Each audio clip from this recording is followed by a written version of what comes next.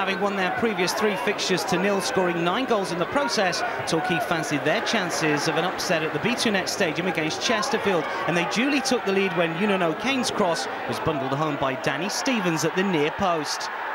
A third FA Cup goal in just his fifth start in the competition. The Spireites had not beaten a league side in the Cup since 1997, but gave themselves hope when Jordan Bowery headed in Craig Westcarr's cross just before the hour mark. A fifth goal in eight days for the 20-year-old striker.